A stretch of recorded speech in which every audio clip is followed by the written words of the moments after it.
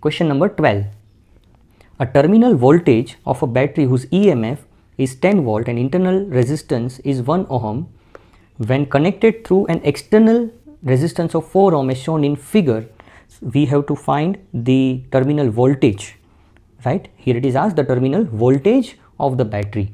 What is terminal voltage? The terminal voltage is the voltage developed across the external resistance which is connected to the battery having some internal resistance right which is given in the figure. So no need to draw. So in general the total emf the expression for the total emf is equals to v plus i into r. So this is the voltage drop which is called the terminal voltage and this is the voltage drop across the internal resistance.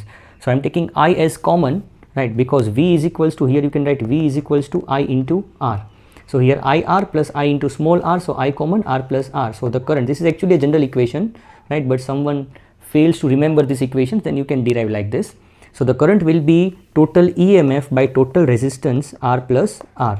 So the total EMF is 10 and the total resistance is 4 plus 1 5 volt. So the total current drawn from the battery will be a 2 ampere.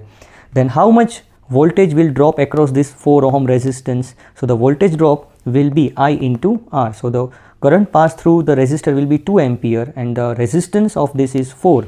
So it is 2 into 4 will be 8 volt. So terminal potential will be 8 volt.